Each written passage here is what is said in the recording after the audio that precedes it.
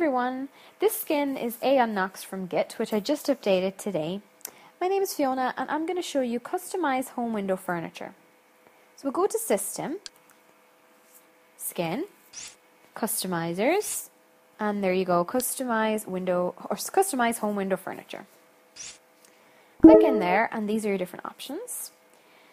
Under submenu, you can hit return on submenu and you have two options. You can disable it all together or you can move it to the top. We'll look at library stats. Again, you can disable it or move it to the top, or you have the option to shorten it. Okay, same with time panel. You can again uh, disable it, move to the top, or shorten it. Okie doke. Next is our, we'll have a look at RSS feed. Okay, so you can disable it, move it low or right below the main menu. Under alternative layout, you can set the, this as translucent or not translucent. And if you have ActorScript installed, you can toggle show list of actors or artists' birthdays. And that will show you uh, today's artists or actors' birthdays rather than the default RSS feed. Okay, We'll go to main menu. You can move that to the middle or the bottom, or you can change the layout to be labels, icons, or labels with space, large spaces between them.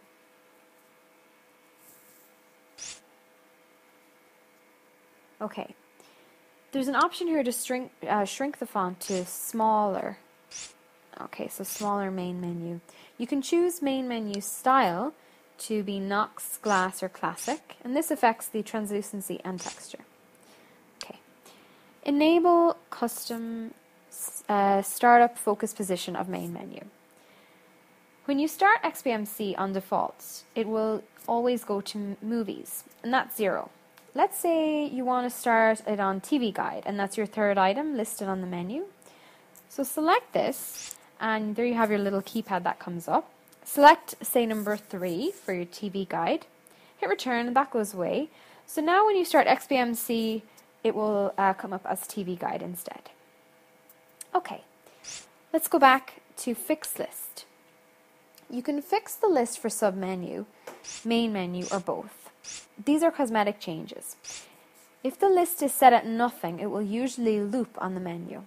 I'll show you what it looks like to fix the list of the main menu.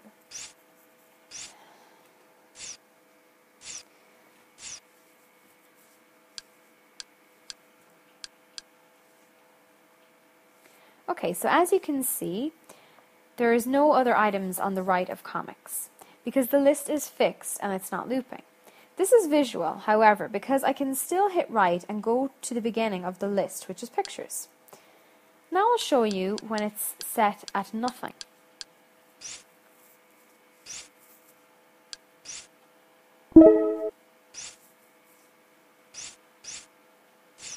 Okay, I'll go back out there. Okay, and as you can see, there are more options to the right of comics because it is looping.